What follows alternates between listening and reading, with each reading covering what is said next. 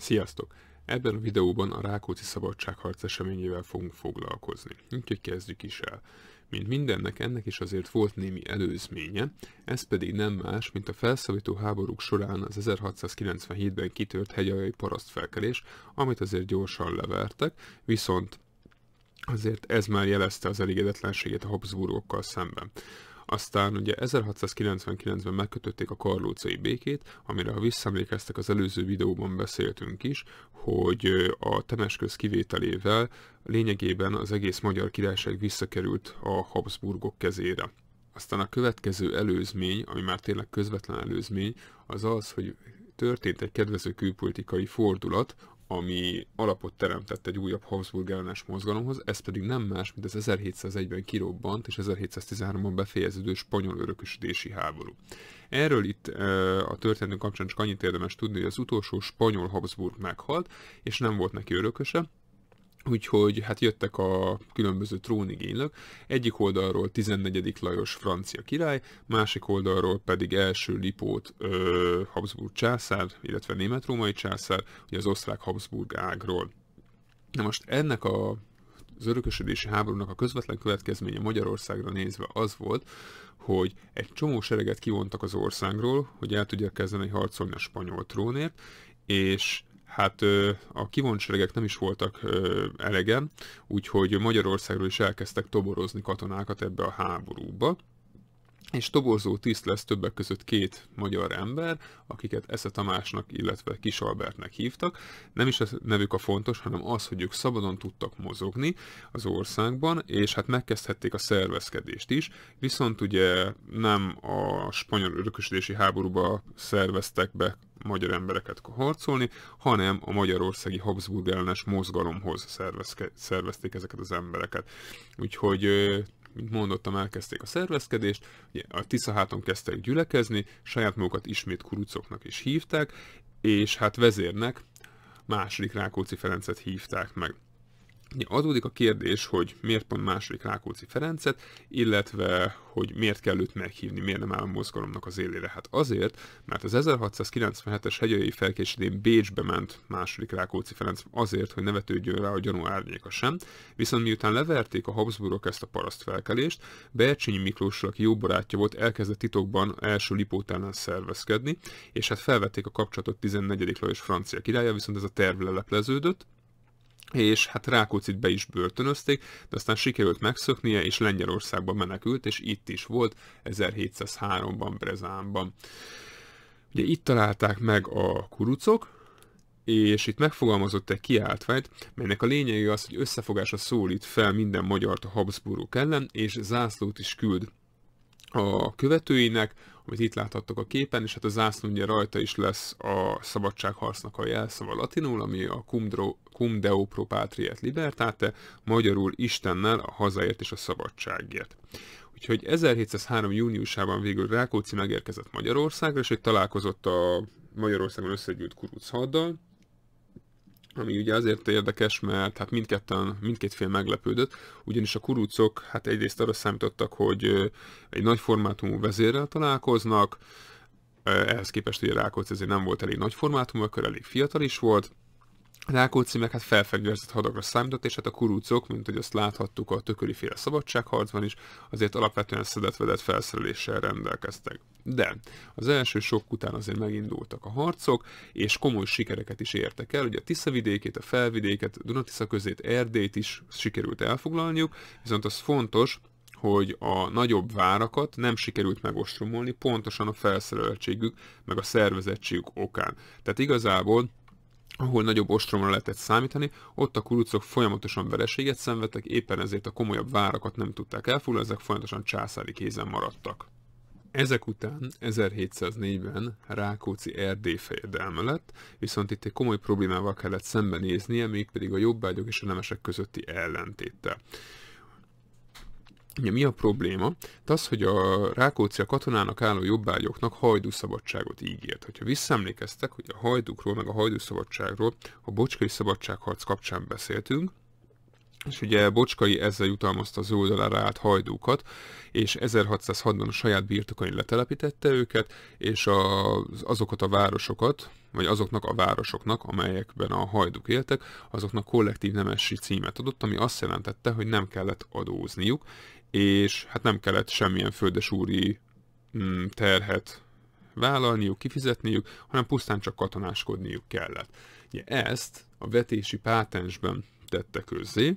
A pátens az nyílt parancsot jelent. Ennek a tartalma annyi volt, hogy a harcoló jobbágyok és az ő családjaik, te, és csak is ők, tehát csak a harcoló jobbágyok és csak is az ő családjaik mentesülnek a jobbágyterhek alól. Azok a jobbágyok, akik nem vesznek részt a harcban, hanem otthon maradnak, azok viszont kötelesek elvégezni a földesúr birtokokon a munkákat, és adózni a földesúrnak is, meg az egyháznak is, meg az államnak is. Ezek után nézzük meg, hogy hogyan is nézett ki ez a kuruc hadsereg. Ugye maga a hadsereg, erről találunk egy nagyon jó ábrát, illetve egy nagyon jó összehasonlítást a tankönyvben, amit itt is láthattok. Hogyha gondoljátok, állítsátok meg a videót, tanulmányozzátok át, és akkor, ha ez megtörtént, akkor folytassátok. No, amit látunk a hadseregen, hogy társadalmi, nemzetiségi és vallási szempontból is nagyon-nagyon heterogén, tehát vegyes ez a társaság, hasonlóan, mint a tököli szabadságharc idején lévő kurucokról.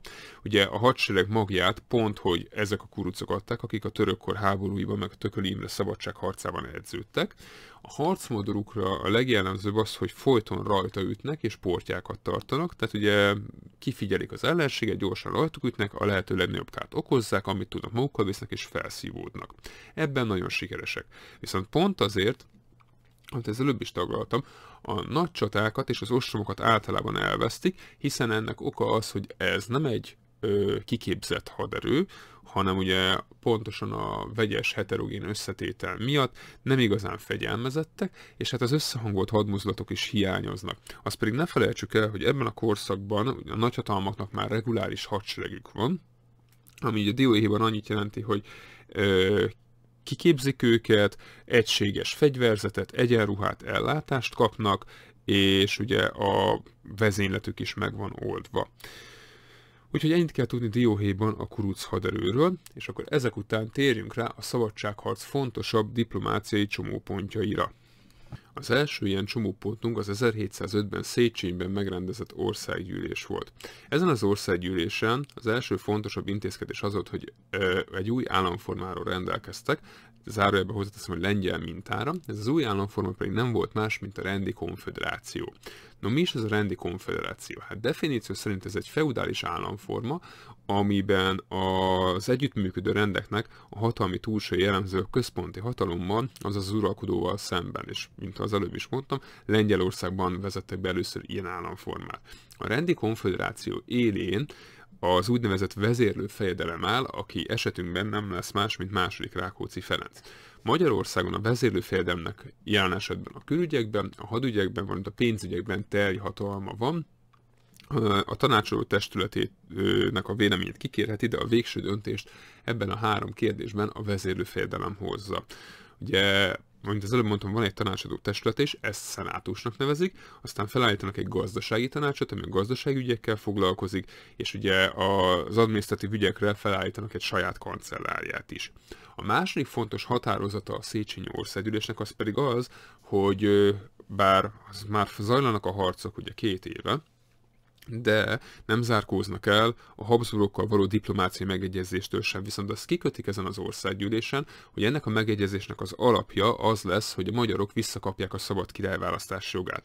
E, emlékezzünk rá, hogy erről a jogról 1687-ben önként lemondott a magyar nemesség, cserébe azért, hogy Budát felszólították, és emellett a szabad királyválasztás joga mellett még 1687-ben lemondtak az aranybullában foglalt ellenállási záradékukról is. Na nézzük, hogy ö, hogyan teremték meg a szabadságharc anyagi alapját. Hát az első fontos probléma, hogy adót nem fognak pluszba szedni, viszont ö, Rákóczinak saját pénzt kell veletnie, ez nem lesz más, mint a képen is látható libertás, vagy más néven poltúra, ami részből készült. Ebből fakadóan csak belső forgalomban lesz jó, hiszen ugye Európában ekkoriban nemesfémből, tehát aranyból és ezüstből készítenek pénzt, hiszen annak van értéke, ehhez képest a résznek nem nagyon van értéke, és ugye pont ezért hát nagyon hamar el fog inflálódni, tehát sokat nem fog élni.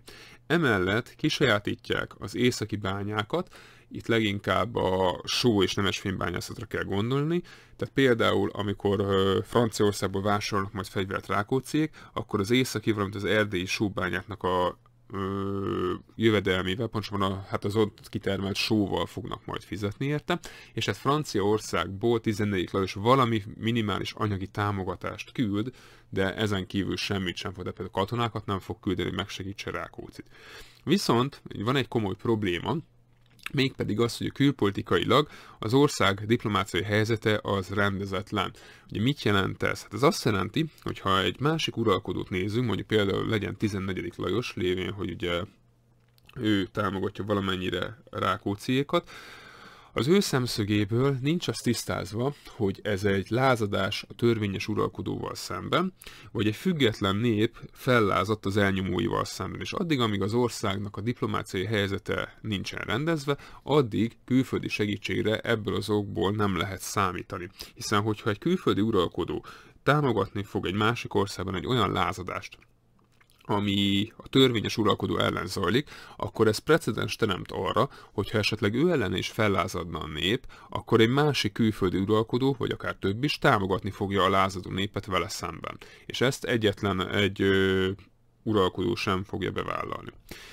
Aztán, ami megbolygatja az egész állóvizet, az az, hogy 1705-ben első Lipót meghalt, és egy új uralkodó került a trónra, az ő idősebbik fia, akit első József néven koronáztak meg, és ő 1705-től 1711-ig uralkodott. Ugye miért mondtam azt, hogy megkavarta az állóvizet? Hát azért, mert ugye az új uralkodó az új ö, uralkodási irányvonalat is jelent, ezáltal lehet vele tárgyalni. Na, és hát a nemesség, tehát a kurucok között lévő nemesek, azok megpróbáltak kiegyezni első Józseffel. Úgyhogy 1707-ben összehívták Ónodon ismét az országgyűlést, ahol ezt a helyzetet akarták tisztázni. Ennek ugye a végeredménye az lett, hogy az országgyűlés kimondta a Habsburg ház trónfosztását, ugye itt hangzott el Bercsényi Miklós híres mondata, melyben azt mondta, hogy Ebúra fakó, József császár nem királyunk. Ugye a mai fülnek ez hát igazából semmi extrát nem jelenthetne, de ezt ne felejtsük el, hogy a korszakban ez az ebúra fakó egy nagyon-nagyon durva káromkodás is, káromkodásnak számított, ezzel durván megsértette az uralkodót is, és hát ami a lényeg, hogy kimondta, hogy az első József nevű Habsburg császár az nem Magyarország királya.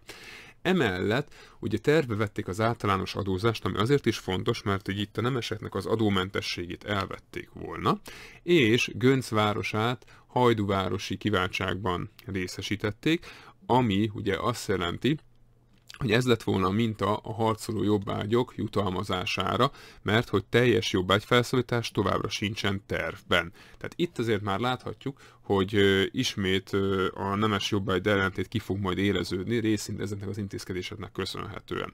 És hát akkor végül térjünk rá a szabadságharc hanyatlására is, amihez több tényező hozzájárult az elhúzódó háború mellett. Hát kezdjük akkor a belpolitikai helyzet megvizsgálásával. Az előbb mondtam, hogy a jobbágy nemes ellentét egyre inkább kiéleződik, ennek ugye egy része, vagy egyrészt az az oka, hogy a jobbágyok azt szeretnék, hogy a teljes jobbágy felszólítás történne, viszont mivel ez nem történik meg, csalódnak, és a harci kedvük is alább hagy, és hát szépen elkezdenek elszállingozni a seregből.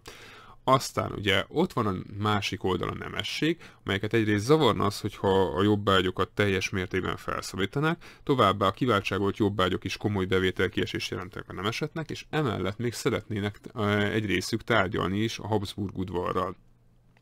És hát a harmadik rész pedig a gazdasági nehézségek, mert hogy a libertás az elinflálódott, tehát semmit nem ért, és hát 14 Lajos pénzügyi támogatása is abba maradt úgyhogy ezek okozták azt a nehéz belpolitikai helyzetet, amit a külpolitikai helyzet alakulása sem segített.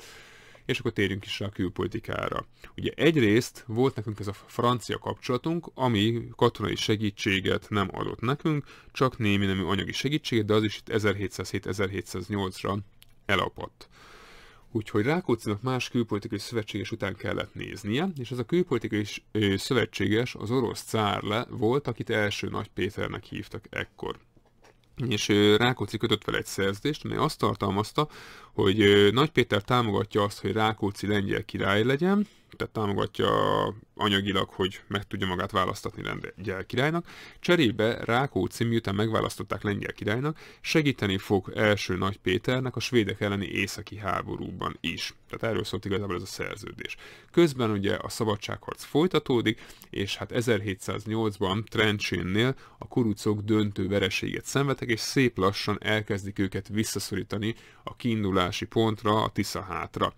Innentől kezdve, ugye mondtam, hogy sorozatos vereségek fognak bekövetkezni Kuruc oldalról. Az egyik fontos vereség például az 1710-es romhányi vereség, és hát 1710-re visszaszorultak a kurucok a Tisza hátra.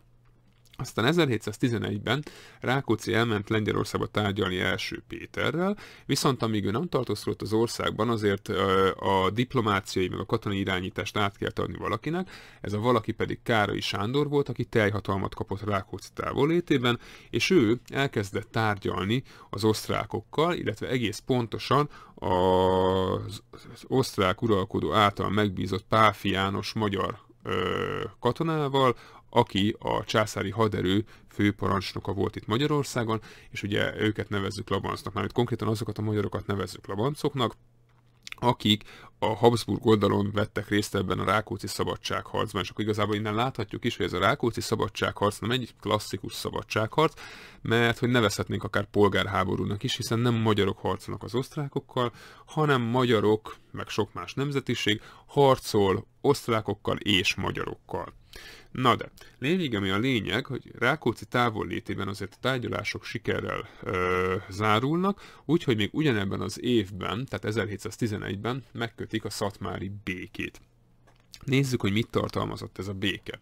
Hát lényegében a magyarok majdnem összes követelését tartalmazza, tehát visszaállították a rendi alkotmányt, azaz a nemesek jogait és kiváltságait, a protestánsok vallásszabadságát is visszaállították, Fontos az, hogy a kuruc nemesek, tehát a fellázadt nemesek visszakapják a birtokaikat, azaz eltörlik az új szerzeményi bizottságot, a neoakvisztika komissziót, amelyet a felszólító háborúk során ö, hoztak létre. Hogyha működése érdekel titeket, akkor nézzetek meg az előző videót ami a török kiűzéséről szólt, viszont fontos, hogy ezért cserébe azt kérik a Habsburgok, hogy csak abban az esetben kaphatják vissza ezek a kuruc nemesek a birtokaikat, hogyha hűséget esküdnek a Habsburg uralkodóháznak. Viszont, ugye láthatjuk, hogy ezt adják a Habsburgok a magyaroknak, hogyha befejezik a harcokat. Na de cserébe valamit kell adni a magyaroknak is. Hát amit ugye adnak a magyarok, az igazából olyan dolgok, amiket, amikkel már nem rendelkeznek, viszont nem fogják követelni. Ez pedig nem más, mint az 1684-ben eltörölt szabad királyválasztás, amiről ugye azon az bizonyos országgyűlésen a magyar rendek lemondottak, és az ellenállási záradék. Tehát ezeket nem fogják visszakapni a magyar nemesek, úgyhogy lényegében azt mondhatjuk, hogy ez egy kompromisszumos béke, és hát fennmarad a rendi dualizmus is.